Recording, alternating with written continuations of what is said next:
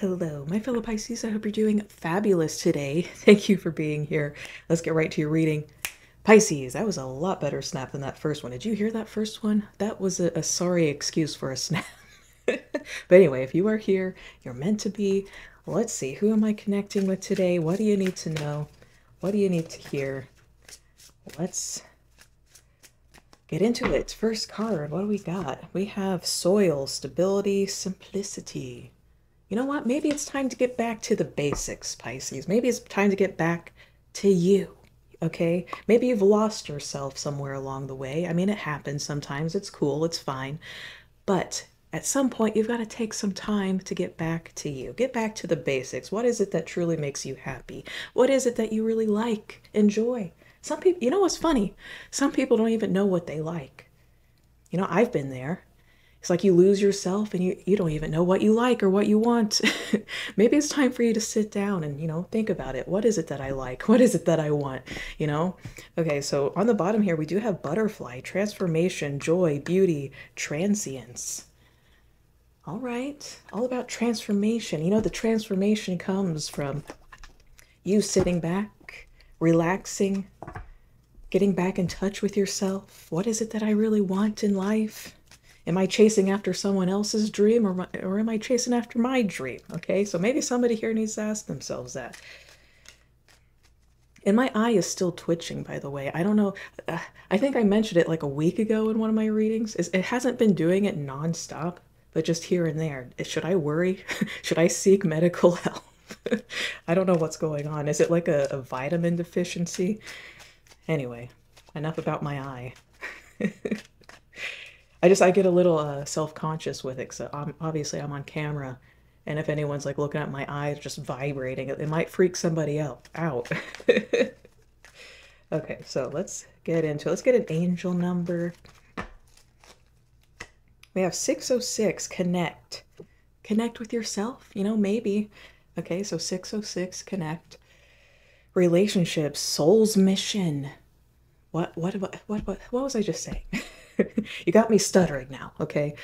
Endless love, friendship, mutual growth. Spend time with those you care about, including yourself. You should care about you. Focusing on having positive, loving conversations, you know, even a conversation with yourself. the theme of this number is the importance of striking a balance between solitude and community. It could be a sign of a partner to come for those who are single. Perhaps it's a call to love unconditionally both yourself and others. There we go, getting back to the basics. You know, maybe, you know, maybe there's some people in your life that you haven't connected to in a while. Okay, maybe this is a sign for you to reach out to them. You know, and again, that could be you. You know, I keep getting the feeling that it's time to, you know, ground yourself, get back to the basics, get back to who you are, get back to home. you know, you know, it's funny I say that, get back home. Maybe somebody here needs to pay a visit to their hometown and reconnect with somebody. You know, random message there. We do have big money at the bottom, 2828. So, I mean, that's something. Wealth, empathy, promises, commitment, affection, inner strength, auspicious outcomes. Okay. All right, so let's look at some details here.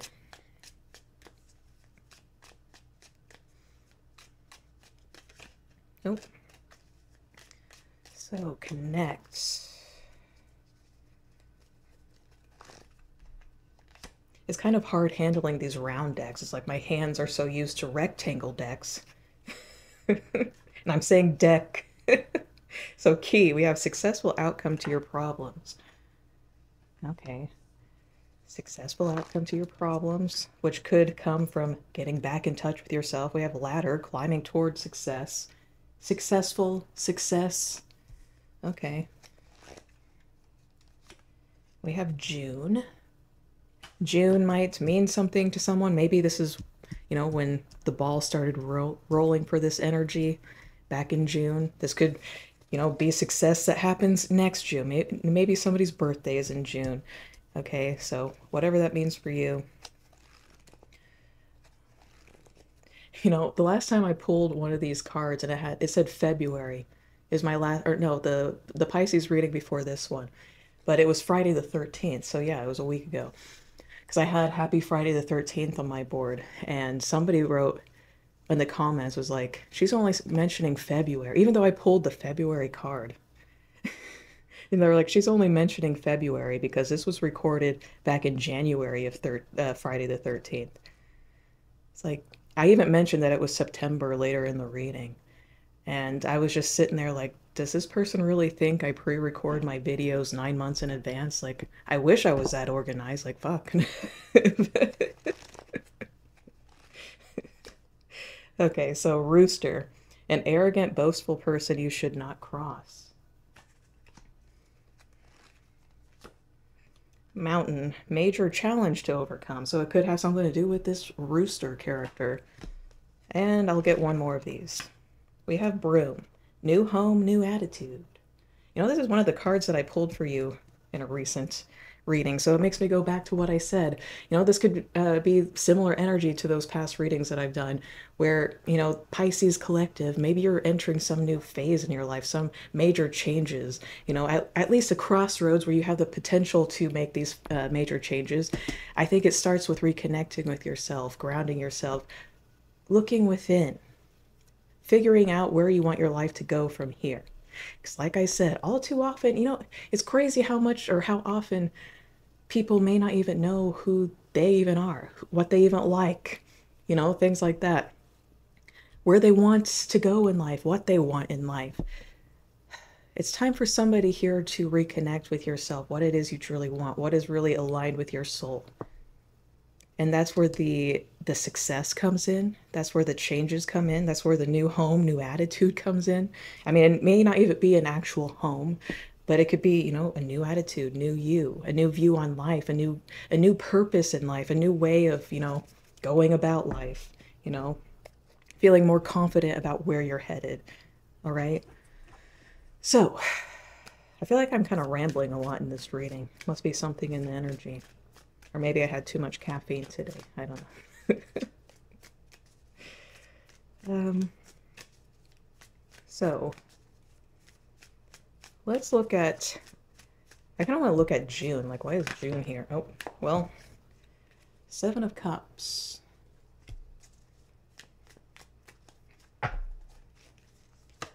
We have the Sun. So I don't know if something, you know, this could have been some kind of energetic shift that happened back in June for you.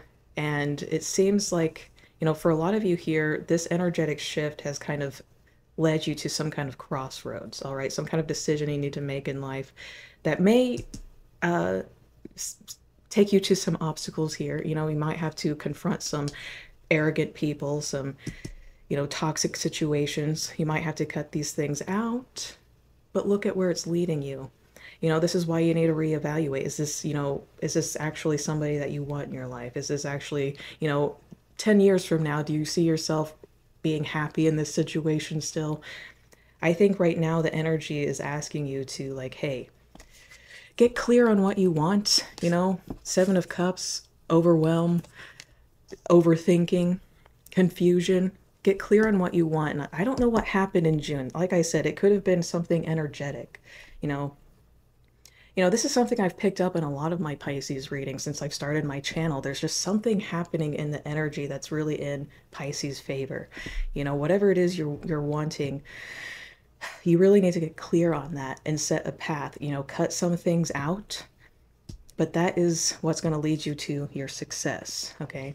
And now my eyes twitching like crazy again.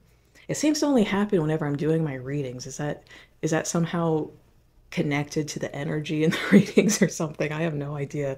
My my my mind is like energetic overload. but yeah, it's time to get clear on what you want. There will be some obstacles to overcome though. Obviously it's going to be different for everybody. Okay?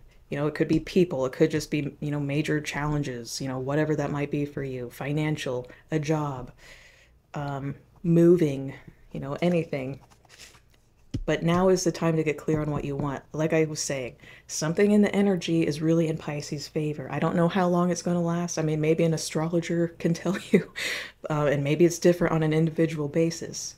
Um, but I do offer personal readings. If you're interested, my email is in the description box. But um, Yeah, get clear on what you want. Go for it.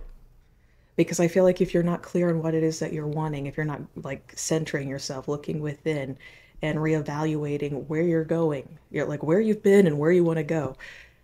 If you're not clear on that, you can miss out on this energy. I just I get that vibe. You know, it, it might seem unfair, but whoever I'm connecting with, you're just you're really being called to do this, to look within, to do this work. I mean, you could make this decision at any point in your life, but because, like I said, this energy, I don't know what's going on. If you really use this to your advantage, you could get further ahead. All right, so let's look at key and ladder. Successful outcomes to your problems, climbing towards success. Actually, should I look at the, the conflict here first and, and then the successful outcome? Yeah, let's look at what this conflict is. We have the tower. Feeling like some things are not in your control. Hmm. We have the Queen of Swords. We have the Star. Aquarius energy. So, um,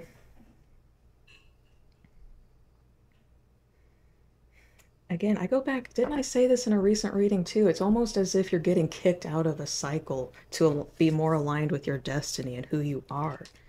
Everything in this energy, and, maybe I sound a little woo woo, a little out there, or whatever, but there's just something in the energy that's in Pisces' favor. And it's it's kicking you out of something so that you can climb toward a higher path, a, pi- a path that's more aligned to you your higher purpose, what you're supposed to be doing in this life. And for some of you, you maybe you're just kind of lingering in a, a certain cycle for far too long, and the universe might come in and like kick you out of that, you know, and it might be a little uncomfortable. That could be where you know the major challenge to go to overcome comes in. Because it might feel like a mountain, you know, having to climb a mountain to get through to the other side there but it's all pushing you into the next phase into your life. But that's for those of you where you're you're kind of lingering in a situation that's, you know, maybe you're you've been into it I can't talk, been in it for far too long. And you have shit to do.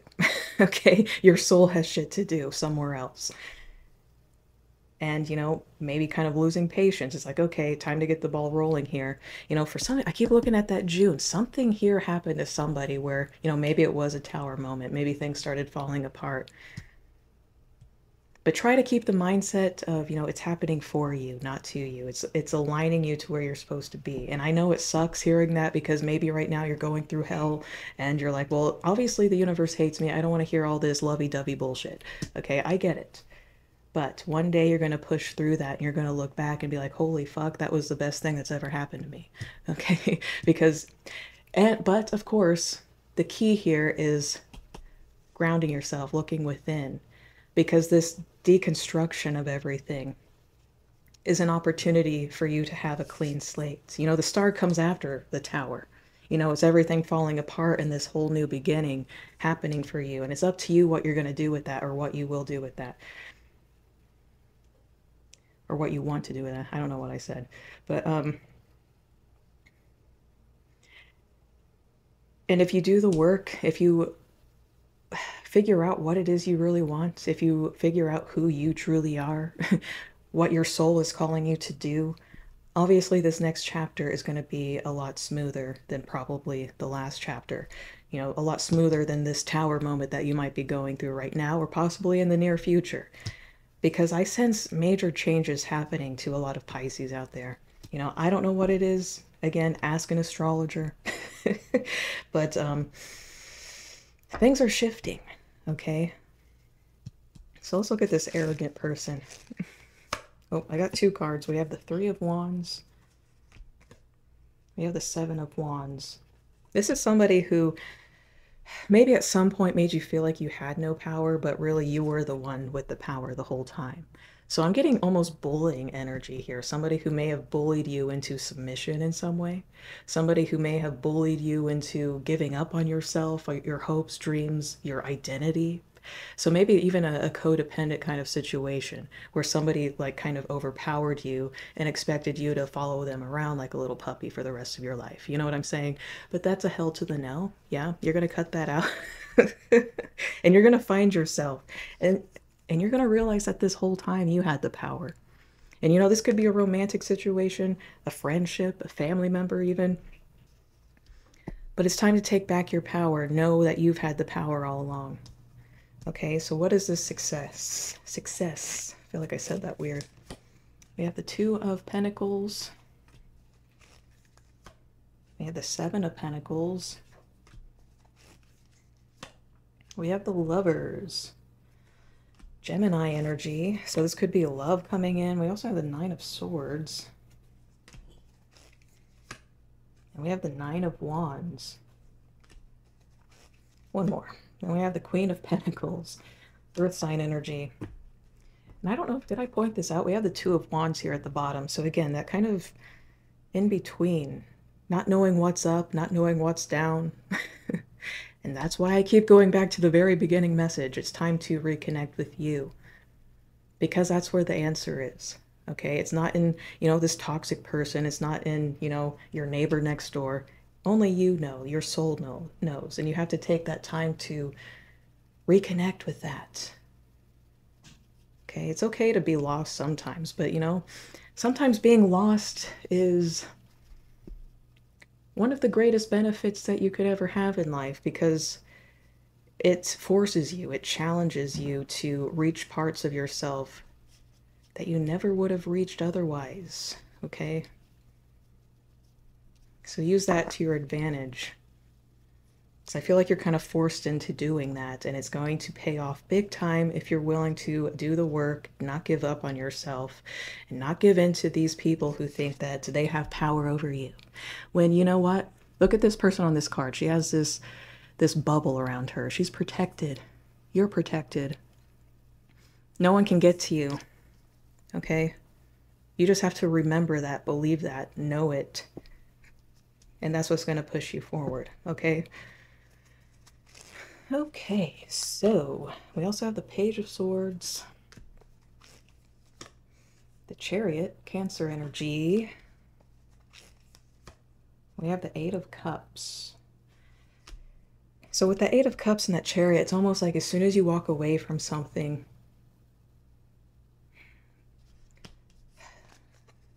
and you walk away from like the you know arrogant people toxic situations whatever. The sooner you do that the faster your growth will be. Okay? And again this is also about choosing a path. Notice the white horse and the black horse. It represents you know which path are you going to take. That could also be why the lovers is here. It can also represent a choice you know also the two of pentacles. You know again very much crossroads energy here for you. What are you going to do with this this shift, this opportunity? Whatever happened in June, it started there.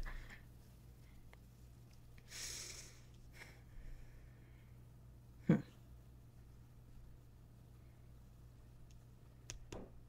This is I feel like whoever I'm connecting with, this is very much like a very like your I don't want to say your the rest of your life depends on this, but it kind of depends on this. like, you know, what are you gonna do? Are, like, picture yourself like how you're living right now.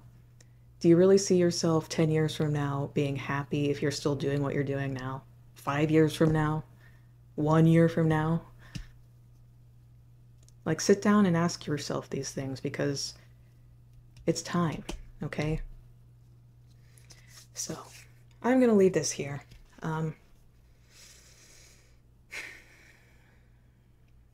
it's time for you, yeah, to just reconnect with yourself. Because there is a higher, there's a higher purpose, destiny for you.